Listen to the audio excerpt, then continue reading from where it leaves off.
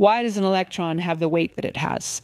Why there's this there's something called the fine structure constant you know like why is that there you know wh- why is that number there's these fundamental constants in the universe and so einstein said there's a cosmological constant it has to do with the expansion of the universe but scientists, when they were measuring at things at a quantum level, they said, well, should, whatever it is, it should be minuscule. It should be like, we can ignore it, right? So they just renormalize the equation and treat it as zero.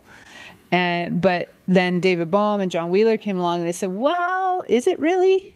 Right? Can we really ignore it? I mean, I know it makes it easier for us to solve our equations, but what if there's something in there? so they went and calculated it. And they realized that in, in the space of like, let's say this cup here, in the amount of space, empty space of the vacuum that is in this cup with like let's say it's no water and it's just empty space and there's no particles, there's no there's nothing in there. Within that amount of space, there's enough vacuum energy to boil all the oceans of the world. I know. Hmm.